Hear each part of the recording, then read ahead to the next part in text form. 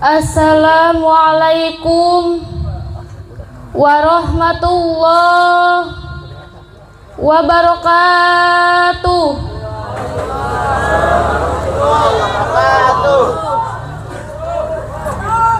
Jalan-jalan ke rumah Ririn. Pulangnya beli salam ke Cikampak. Hai para hadirin, kok ngejawab salamnya kagak kompak? Siap? Assalamualaikum warahmatullahi wabarakatuh.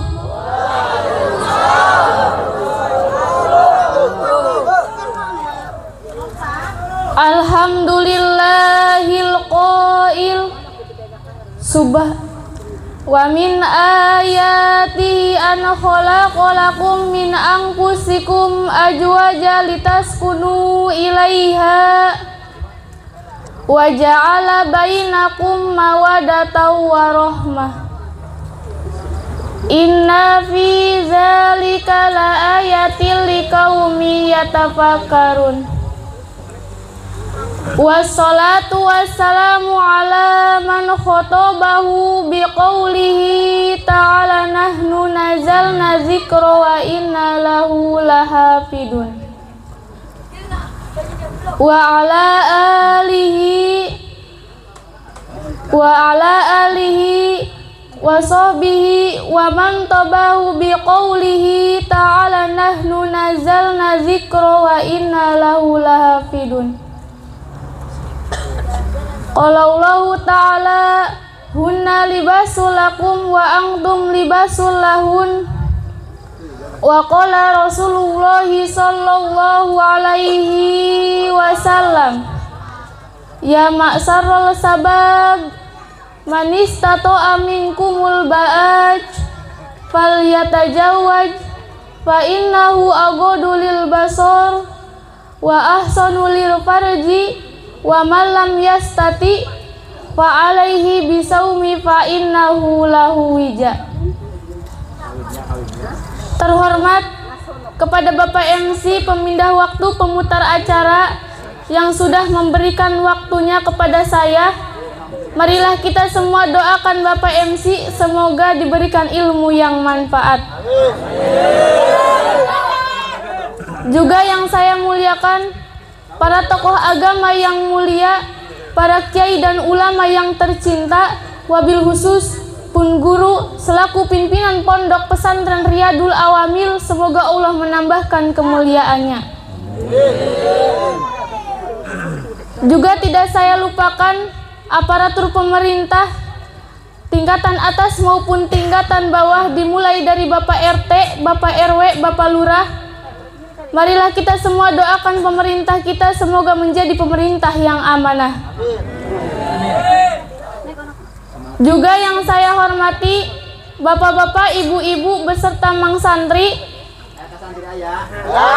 Ala dilam yudkar ismum ta'diman wa takriman bi ulumihim yang tidak bisa saya sebutkan namanya satu persatu namun tidak mengurangi rasa hormat dan takdim saya kepada hadirin semua.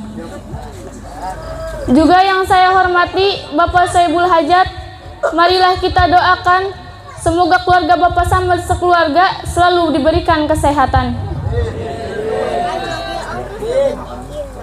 Puji dan syukur marilah kita panjatkan kehadirat Allah Subhanahu wa taala dengan kudrat irodatnya kita semua bisa berkumpul bertatap mata namun saling bersuka dan saling menjaga dan bersanding suara. Salawat beserta salam semoga selamanya tercurah limpahkan kepaduka alam yakni Abdullah mawujudat Kangjeng Nabi Muhammad.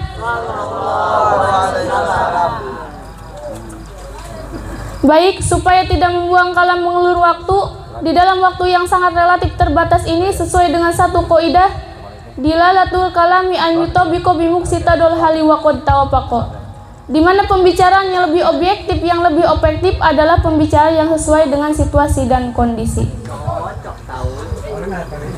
Saudara hadirin kaum muslimin wal muslimat yang berbahagia. Kata nikah sesungguhnya tidak asing di telinga kita, cuma rahasianya yang belum ada. Kenapa? Dia bertanya-tanya, kaya nikah bagaimana, tidak nikah bagaimana? Jawabannya, jangankan yang belum nikah, yang sudah nikah pun ingin nikah lagi. Artinya tabir di balik pernikahan ini ada keindahan, ada kenikmatan dan ada sesuatu yang belum pernah dirasakan, betul? Oleh karena itu, saudara-saudara, lewat mimbar ini saya serukan untuk sobat-sobat muda agar menikah segera dengan kamu punya catatan lahir dan batin. Artinya, lahirnya sehat, batinnya kuat. Kenapa begitu? Karena kalau batinnya tidak kuat, akibatnya si istri jadi tukang ayam. Contoh iklan kuku Bima. Oleh karena itu, saudara-saudara, menurut bahasa, bahwa nikah itu lengket nempel kumpul jadi satu lapatnya berbunyi adomu wal istima'u begitu tertera dalam kitab Fatul Mu'in kalau tadinya kita tidur sendiri setelah nikah ada yang nidurin. Makan minum sendiri setelah nikah ada yang tuangin. Makan ada yang suapin panas-panas dikipasin dingin-dingin dikelonin. Betul? Nikah menurut kacamata Islam bukan sekedar menyalurkan nafsu biologis. Nikah bukan sekedar menyalurkan aspirasi arus bawah. Tetapi juga nikah mempunyai makna ibadah dan separuh agamanya yang telah disempurnakan. Untuk lebih jelasnya mari kita setir, setir sebuah sabda Nabi Muhammad SAW Ida tajawajal abdu faqad istakmala nisfu finis fil baki. Artinya Apabila seseorang telah menikah, maka dia telah menyempurnakan separuh agamanya dan bertakwalah kepada Allah dengan separuh agama yang masih tertinggal. Sedangkan nikah atau definisi nikah adalah Akdu yatadomanu bil ibahati wat'in bilabdi ingkahin au. Nikah yang dilakukan oleh dua insar berbeda jenis yang membolehkan untuk melakukan senggama hanya sebab mengucapkan kata-kata saya terima nikahnya. Anu binti Anu dengan seperangkat alat sholat dan emas 100 gram kontan. Jadi kalau sama jenisnya umpamanya pria dengan pria nikah itu hukumnya jinah atau homo. Wanita dengan wanita nikah itu masuk jinah atau lesbian namanya. Jadi yang boleh dan yang boleh yang halal dan yang halal itu pria menikahi wanita, wanita dinikahi pria. Contohnya seperti Awaseh menikahi Teteh Serna, betul? Prinsip saya buat teman-teman pria, carilah dan temukanlah wanita yang punya karakter afifah dan golimah. Afifah itu pandai merawat diri, golimah, gesit, dan agresif.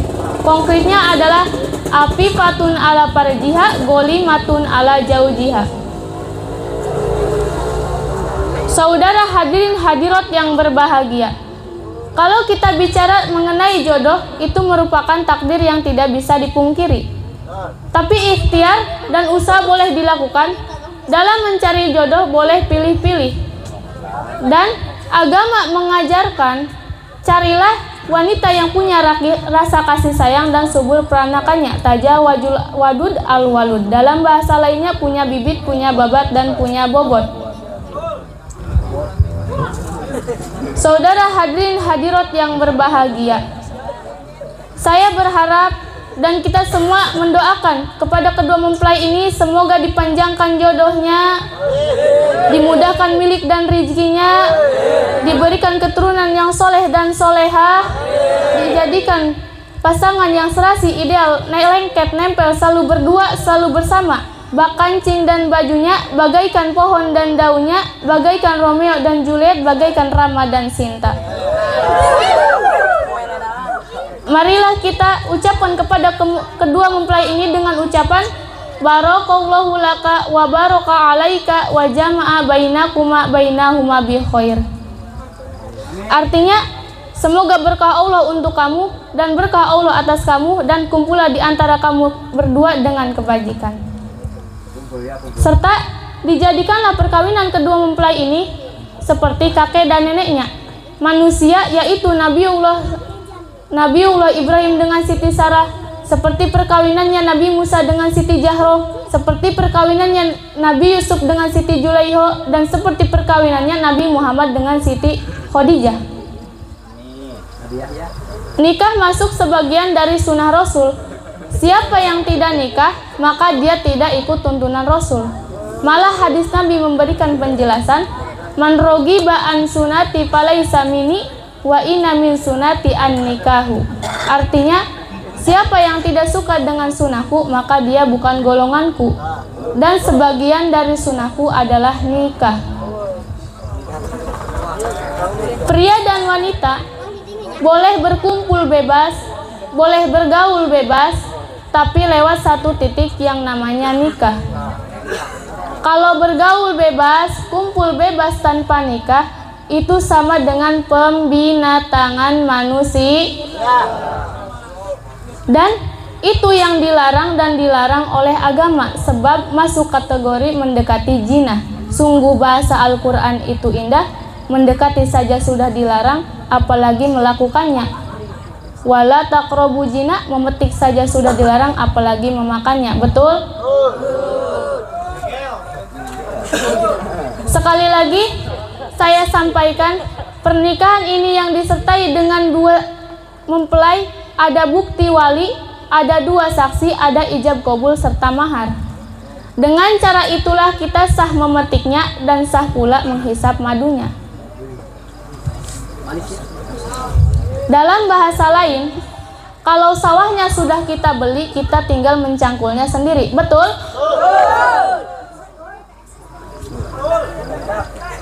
Itulah yang dimaksud dengan sebuah firman Allah harsulakum tu harsakum annasitum.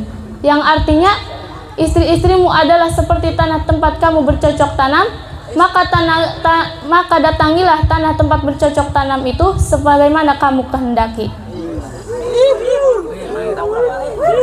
Islam tidak pernah mempersoalkan duda dengan gadis gadis dengan perjaka perjaka dengan gadis atau duda dengan janda Selama pernikahannya didasari oleh suka sama suka, oleh cinta sama cinta, selama itu pernikahannya sah menurut agama. Tentang orang lain punya pendapat cuek-cuek saja. Yang penting kita cinta sama cinta. Kita suka sama suka, kita cinta sama cinta, biarlah orang lain berkata apa. Begitu kata Kamelia Malik, seorang penyanyi dangdut. Dari manakah kita semua tahu? Ya dari Nabi. Ketika Nabi menjadi perjaka, 25 tahun Nabi punya usia, menikahlah Nabi dengan Siti Khadijah Al-Kubro seorang janda kaya. Dan ketika Nabi beristri Khadijah, Nabi pun dinikahkan dengan Aisyah yang saat itu masih gadis ting-ting perawan murni. Ibarat kendaraan bermotor masih profit, sekali masuk gigi masih jereng. Baiknya pernikahan dilakukan di dalam masjid agar nampak agar nampak syairnya dan cepat informasinya. Itu perintah hadis Nabi, "A'linu hadzan nikahi waj'aluhu fil masajidi wadribu alaihi bidupu piwal jalajili." Yang artinya, syairkanlah dan ramaikanlah pernikahan ini dan jadikanlah pernikahan di dalam masjid dan jadikanlah pernikahan di dalam masjid dan pukullah di atasnya dengan rebana atau kecrek. Saudara hadirin rahimakumullah. Kalau orang jadi pengantin, percaya diri, pede banget mulai timbul. Kalau suaminya senyum, istrinya nyengir. Kalau suaminya cubit, istrinya gigit. Kalau suaminya sun, istrinya siap-siap jaga gawang. Itulah nikmatnya nikah dan indahnya nikah. Betul?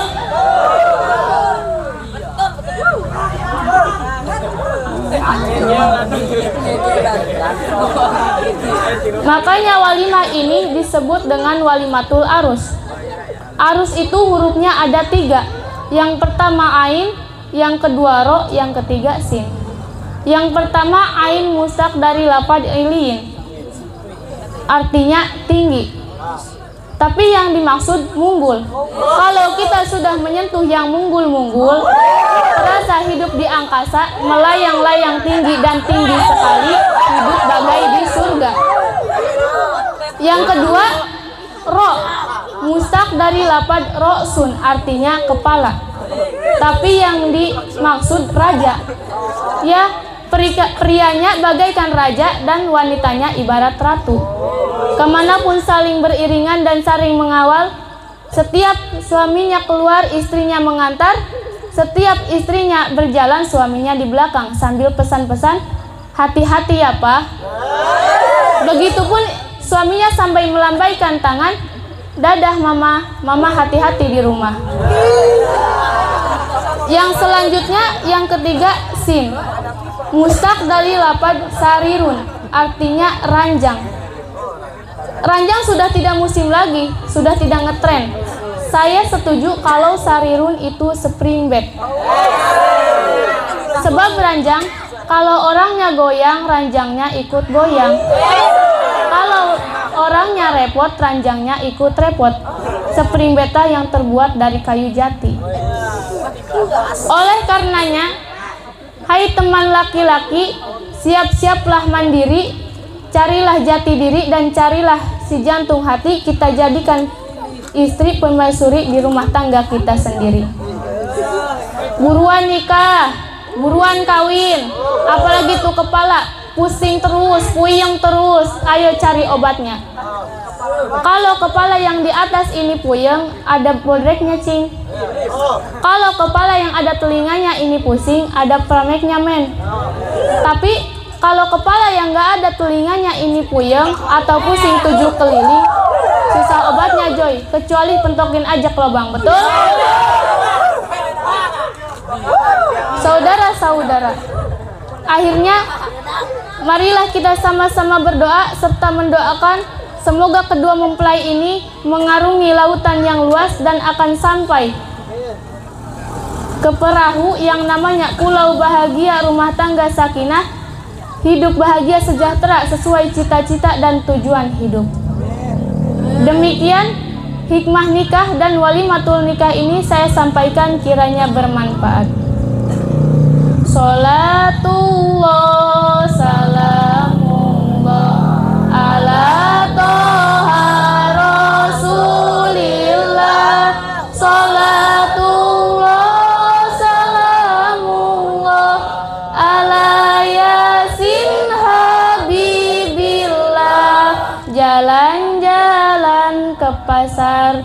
Jalan-jalan ke pasar Suma Pulangnya teh kecilahan Hai para hadirin semua Maaf bila ada kesalahan. Salatullah salamullah ala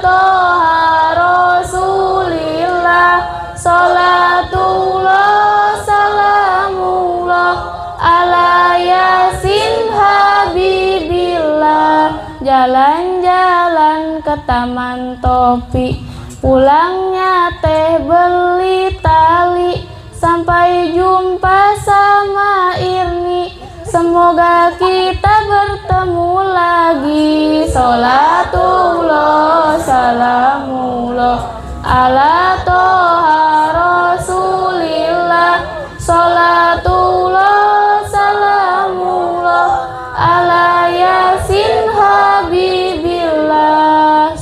Assalamualaikum warahmatullahi wabarakatuh.